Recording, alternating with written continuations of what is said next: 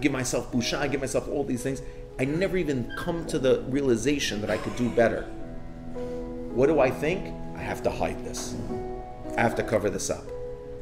I have to make sure no one ever finds out. I'm never going to talk about this again, which is even deeper shame and even deeper, it's even harder. I, I want to make one thing clear. I'm not saying that we don't admit what we did wrong. I'm not saying that we don't say we're going to do better. But that's not all we are.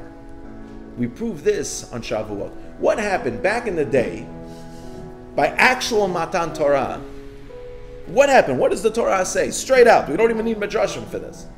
What does the Torah say happened when we came to Har Sinai to do Matan Torah?